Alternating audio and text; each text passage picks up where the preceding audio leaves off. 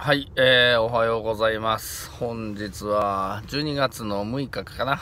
12月の6日、えー、彦根にやってまいりました。現在時刻は6時16分。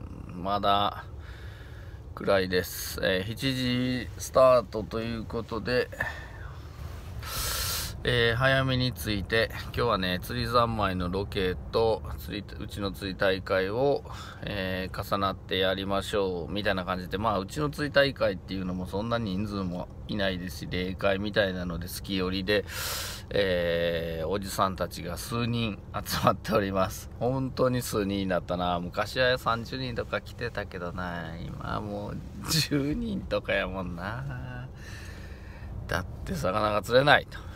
これはもう仕方がないので、えー、粛々とやるっていう感じですね。前はね、魚がいっぱい釣れたので、えー、腕自慢の皆さんは、えー、別に人が、えー、いても、間入って釣るようとか、人の後で腕でカバーして釣るようと、まあそういう感じでやれたのですが、えー、最近は、えー、っと、早い方がいいって、誰よりも先に釣りさせろっていうベテランのおじさんからそういう声を聞いて、今年は釣り大会をちょっとやったりもしましたが、そんな、えー、コロナの影響でうまくもいかず、えー、中止も多かったですね。やれたとこもあったし、やれなかったとこもあって、うだうだというかこんな感じになってしまいました。えー、魚が釣れないのも辛いし、コロナになるのも辛いし、もうこれ、まあこればっかりは仕方がないですからね。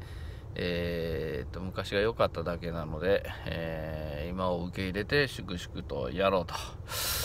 いう感じです。それよりも、えー、みんな来るんかな？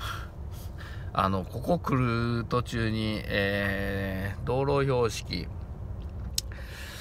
1度でしたね、気温が最低、マックス。で、今ここ3度。車の気温も3度指してます。途中2度もあったし、ちょっと見ましょうか。ここ、3度ね。そして外はちょっと明るくなってきましたがこんな感じ。という感じで、えー、のんびりいきたいと思います。えー、また、えー、釣り大会ご興味のある人、えー、お店の方まで、えー、遊びに来てじゃないな。えー、どんなことやってるんだとか、えー、興味があるんだとか、いう感じで、冬もやっております。えー、やれる時はね、え1年チャレンジしてみてはどうでしょうか。